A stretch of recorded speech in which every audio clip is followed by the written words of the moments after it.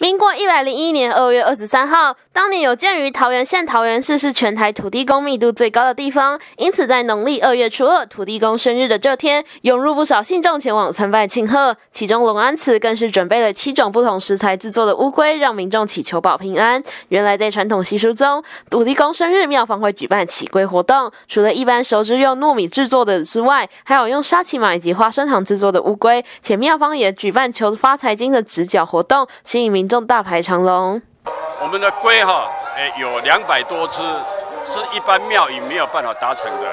我们现在都已经在做了，哦，好，我们也杀了猪公，但是我们猪公哈，并不为了自己，我们拜拜了以后，我们把这猪公哈，哎，送给，哎，创世，啊，还有仁安基金会，给他们皆有来享用。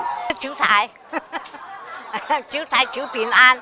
哎，就是这样。我们土地公很友好，给我们求。